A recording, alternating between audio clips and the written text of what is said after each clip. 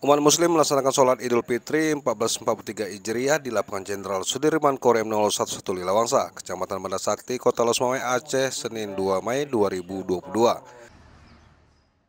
Korem 011 Lilawangsa kembali menggelar sholat Idul Fitri di lapangan Jenderal Sudirman setelah dua tahun tutup karena pandemi COVID-19.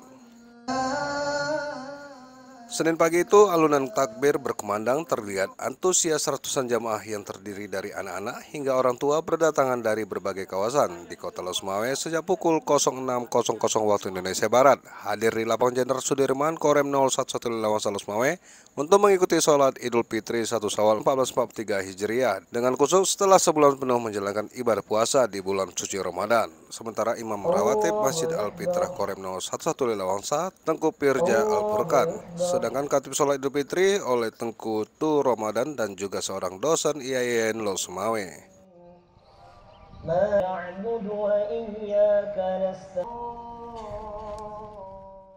Dalam khutbahnya, Tengku Tu Ramadan mengatakan hari ini adalah Hari Raya Idul Fitri merupakan hari kemenangan umat Islam di seluruh dunia. Setelah berpuasa satu bulan lamanya, umat Islam akan menyambut hari kemenangan dengan merayakan Lebaran atau Idul Fitri. Hari Raya Idul Fitri bagi umat Muslim adalah hari kebesaran, di mana saat merayakannya ada hakikat yang dituju, yaitu dari kembali pada fitrahnya dan kembali suci setelah mampu mengendalikan hawa nafsu melalui ibadah di mana setelah menunaikan puasa di bulan Ramadan bukan aku tidak taat, suamiku tidak mendidik, menjadi musuh sebahagian kita dengan sebahagian lain. Malahan kita Qad fazal muttaqun. A'udzu billahi minasy syaithanir rajim. Min qablikum la'allakum tattaqun. Barakallahu li wa lakum fil Qur'anil Karim.